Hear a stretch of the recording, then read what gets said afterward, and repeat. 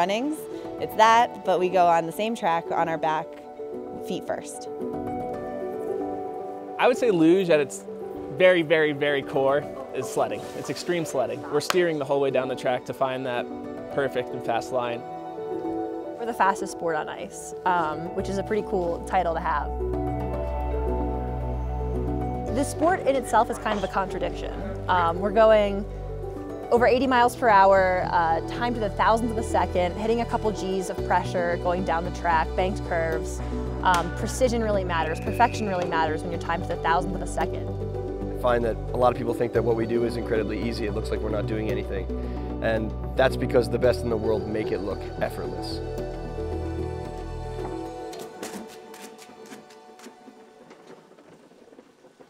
sport is a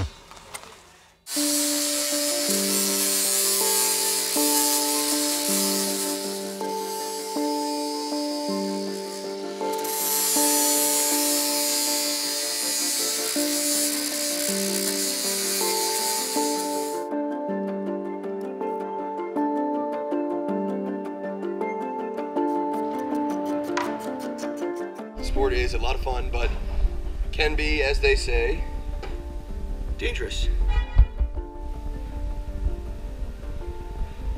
It's always a good reminder to read that before you go. Definitely doesn't get in your head at all. You know, with anything in life, there's, there's risk involved, and, and luge is definitely one of those sports that you can put yourself in a situation where you can find yourself injured. For me personally, I'm an adrenaline junkie, and that's what keeps me going. Uh, there's nothing like the rush you get when sliding. But it's a sport where you kind of are almost in control of how out of control you are. I made the Olympic team for 2018 and then had what I like to call the most spectacular crash of the Olympics. Honestly, it looked more intense from the outsider than it did to me when I was actually going through it. It was the perfect storm of, of things going wrong.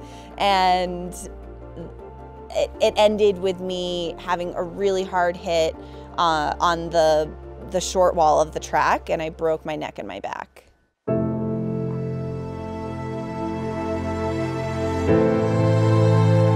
Everything stopped for me after that.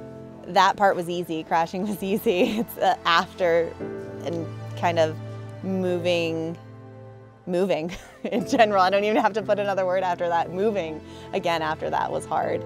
I mean, every your back is involved in everything. Same with your neck, right? So it was it was hard to find any comfort for a while. It was hard to then find motivation. It was hard. I don't like to use the word hard because that means kind of negative things. Like I try to replace it with challenging, but there's nothing that that was beyond challenging.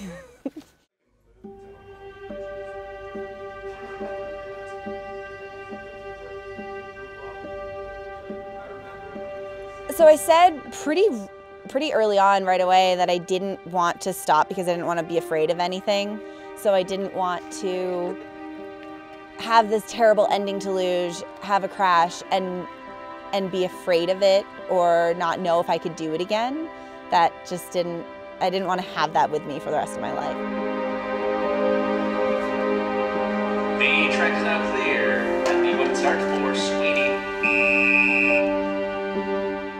podiumed my first World Cup back in Whistler, and then I also podiumed at World Championships that season. And I, like, it's I don't I don't have the words because it's still crazy to me when I think about that process. I was so broken, and I I downplay it a lot because I have to for myself to kind of get through it. But it's still challenging for me here now. I still feel the effects of it. I still um, am managing a lot of things that I never thought I would have to ma manage, but I did it. So I guess that just shows that we can all do something more than what we think we can do.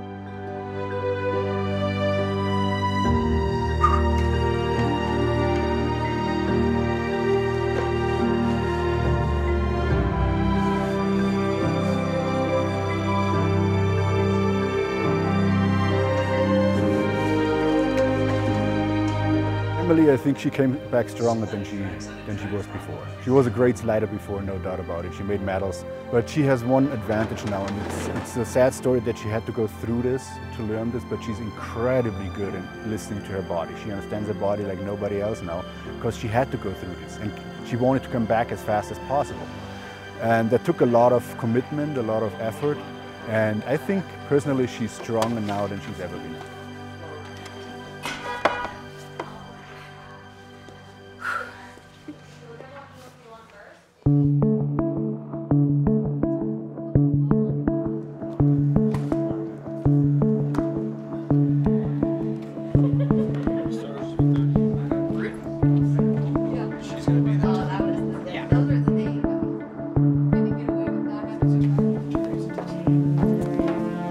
Good runs, guys.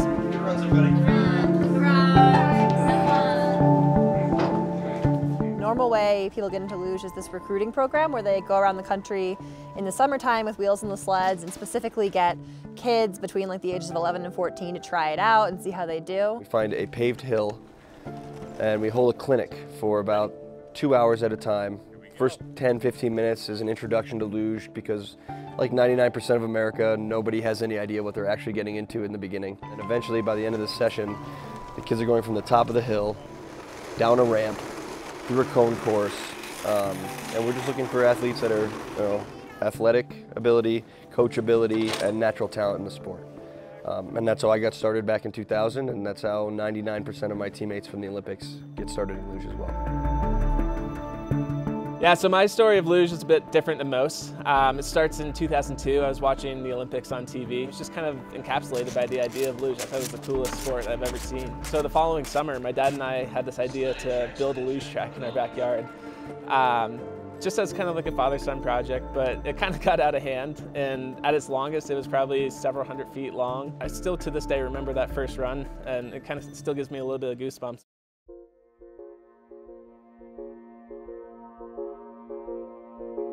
From what I've seen, um, they've been doing, putting a lot of work into building the um, Chinese Federation.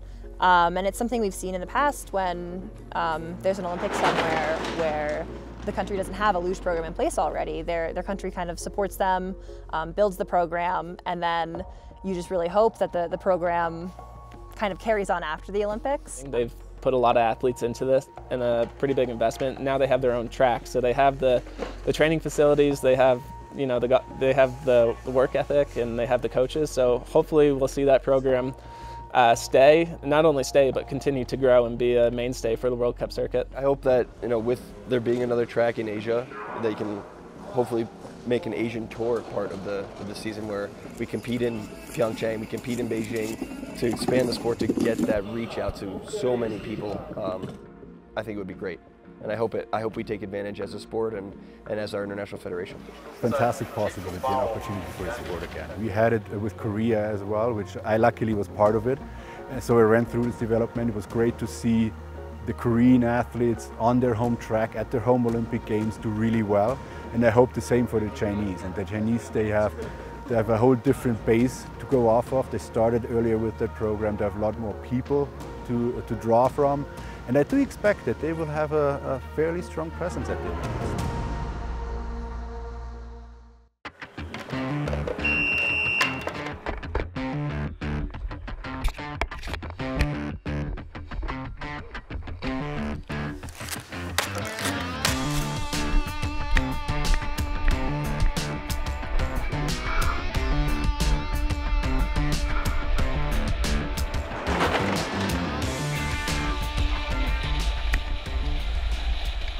Oh, medal's definitely possible. Um, how possible, I won't know until I actually get on the track. Okay, yeah, I really like that 10. The more you can let it run, the better it is, right? That's that's the dream, right? Is an Olympic gold medal. Um, I think any any kid ever that's um, in any sport dreams of you know going to the Olympics and getting getting a gold medal. I think to grow the sport, a gold medal would certainly help. Um, you know, the USA is very results oriented. The headline is always the person that has the gold medal. So um, I think us getting a gold medal would certainly help with exposure to the sport.